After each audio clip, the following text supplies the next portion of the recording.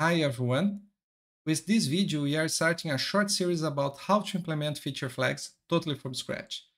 We are going to use TypeScript, a monorepo Lerna so we can manage our NPM packets, Verdaccio as our local NPM registry, a simple REST service using Fastify and MongoDB, and all of this using Vitest as our test framework.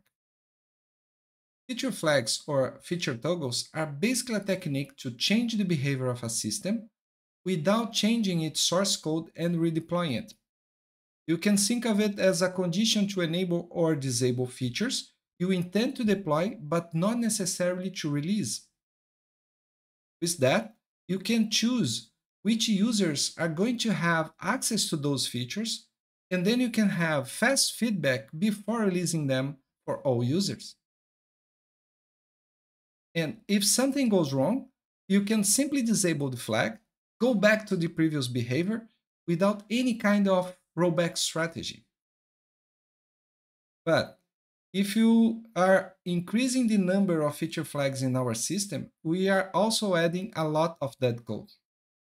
So we need to have a strategy to clean the code when the new features are already approved for all users. So let's see how we can do all this. But before jumping to coding, if you like this kind of content, please make sure you subscribe to our channel and leave your comments below.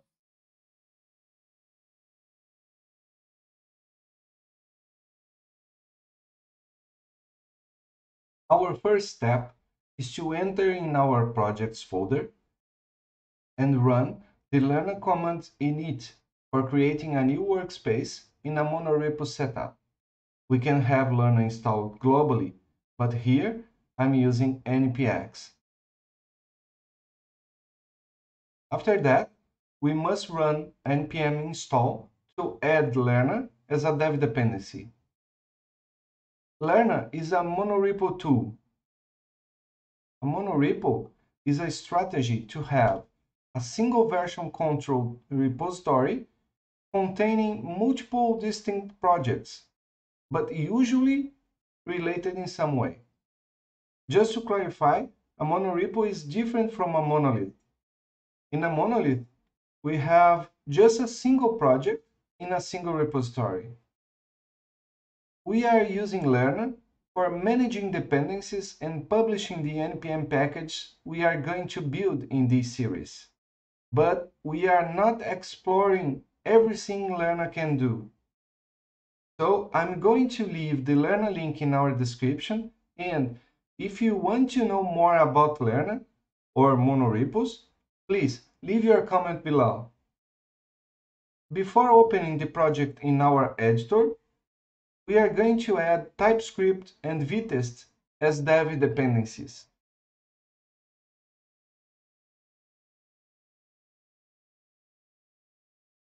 Okay, here we have the workspace Lerna created for us. Before anything, let me edit the git ignore file and add some exclusions. Now we can add a TypeScript config file to our project. This tsconfig is going to be extended by the package we are going to create. The configuration is pretty much straightforward, but keep in mind we must set declarations to true, since we want to generate the TypeScript data types. The folder package is a placeholder for all our share packages. By default, Lerna uses npm workspaces. So, npm will be responsible for cross-linking the package in our repo and reduce duplications in our node modules. In the package.json, the root package is set as private because we don't want to publish to our npm registry. And we can do this to any package inside our monorepo. The workspaces property is informing npm that the packages inside our monorepo will be fetched and linked locally, rather than be imported from a remote NPM registry. In the Lerna config file, the use workspaces property is set by default to true, which means we are delegating the package management to NPM workspaces. And the initial version of our package is set to zero. When we are publishing our package to NPM, Lerna will automatically detect the current package, identify the current version, and propose the next one to be used. We can then choose between some options, like a patch, a minor, or a major change.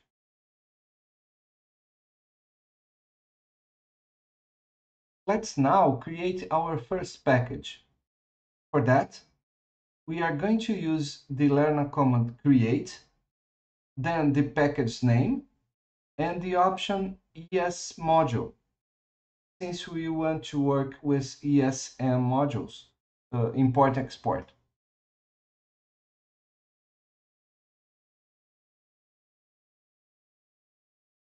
For the name, we are going to use a scoped name.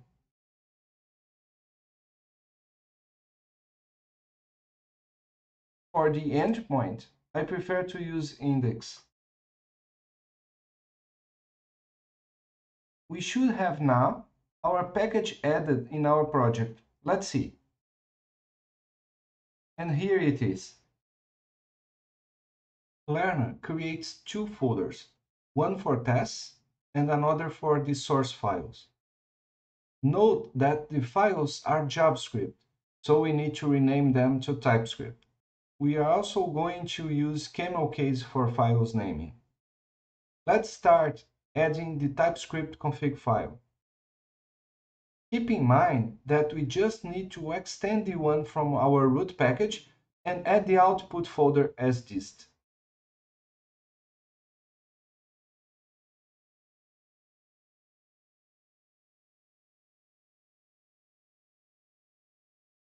In package.json, we are going to add the property types because we want to work with TypeScript data types and delete the module property since it's a non-standard node property.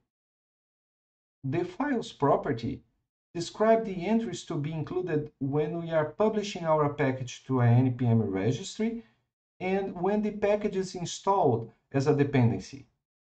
The package.json README and license files are always included. So, when we are publishing our package to the NPM registry using Lerna and Verdaccio, only these files will be considered. We also need to add the script build to call the TypeScript compiler. And use Vitest for testing. The option run informs Vitest to run the test just once. Let's create the index file.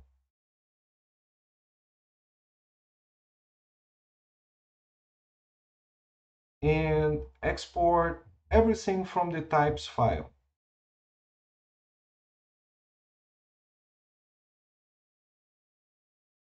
Then rename the types file.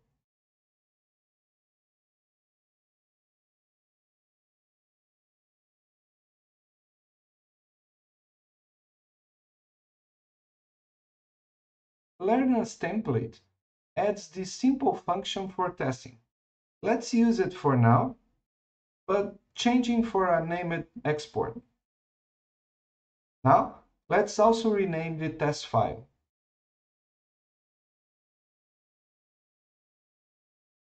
The test created by Lerna is using the assert library, but we are going to delete all this because we want to use Vitest. Vitest is a really fast unit test framework powered by the build tool Vite, so it's compatible with Vite, and it supports out-of-the-box TypeScript and JSX. As it shares a similar syntax with Jest, it has a shortened learning curve. we can now start creating our tests. I'm going to use describe, but you can use contest if you prefer. For the test, I'm, I'm going with test, but uh, again, you can use IT. And here we can use async functions, but it's not the case for now. You should have noticed that describe and test are not being recognized by the compiler. When we are using Vitest, we need to import all functions we are using.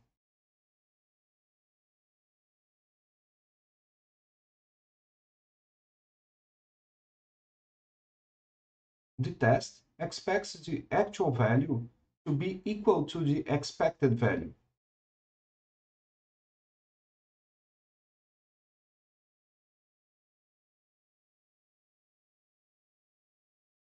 The expected value is the return of that function created by Lerna. And the actual value is the result of actually calling the function types.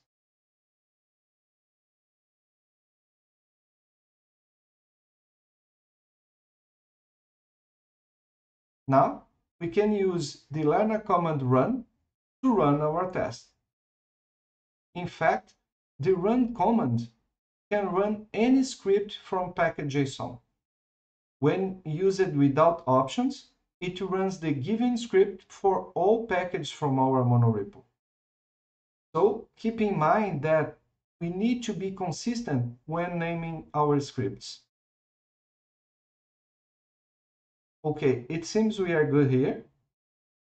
And now we can run the script build, but let me show you how you can inform Lerna we want to run it just for a specific package. For that, we are going to use the option scope and then the package name.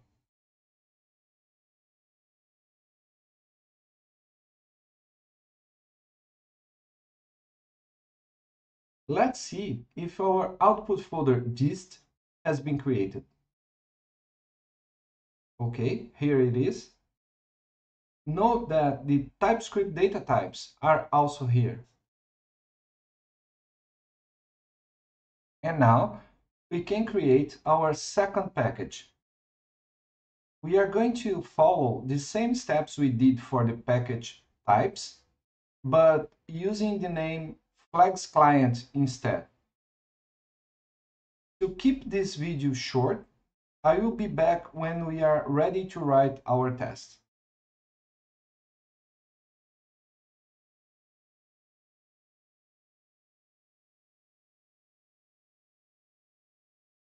And here we have our package flags client. Just so you know, we are using the same TypeScript config file from the types package. And we did the same modifications we did for types package in package.json as well. Note that the flags client naming is using upper camel case. The reason for that is we are using a class instead of a function. For now, our class has a single static method named start that returns the same string Lerna is using for its templates. The index file exports the class. And now we are ready to write our test. But let's copy it from the types package because they are basically the same.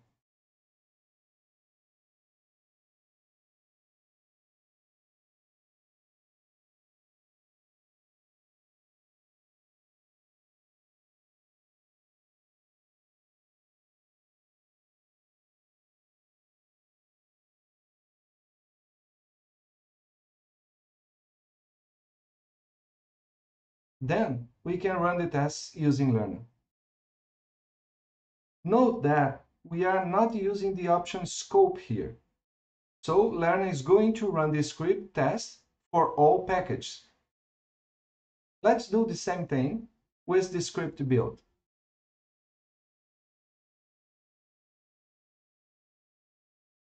We are good here. So we can go to the last part of our today's video.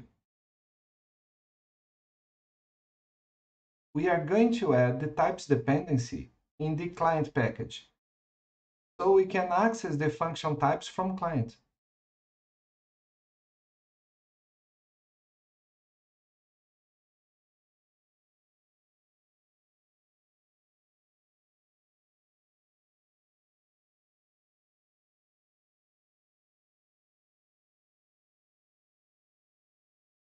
The catch here is we are using star instead of the package version.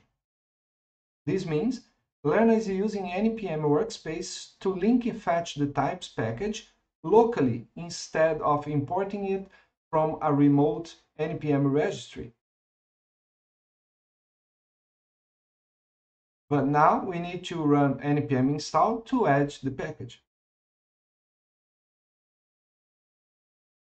And it should be available to be used by Flags client by now.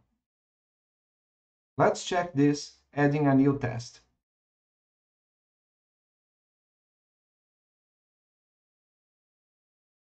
In this second test, we are going to concatenate the outputs of our flags client start method and the types function.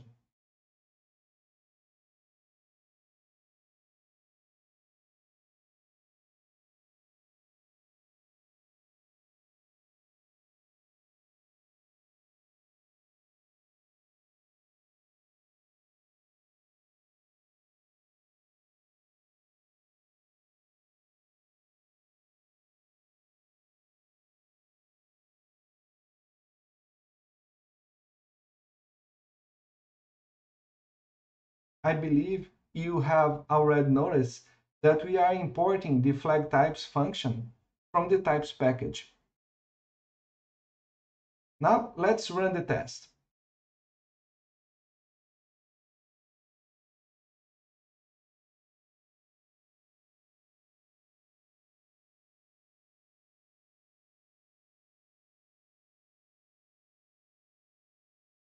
Okay, we got an error here. Uh, let's check the log.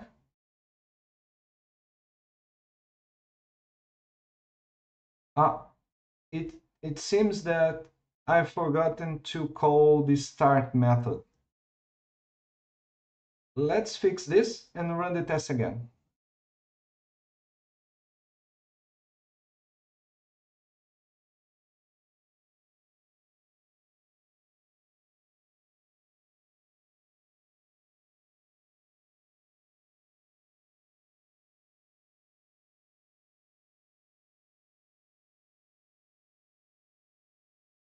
So we are done for today. We have our workspace ready. And in our next video, we are going to start to work with feature flags. If you enjoyed the video, please don't forget to smash the like button and subscribe. Thanks for watching and I see you in the next video.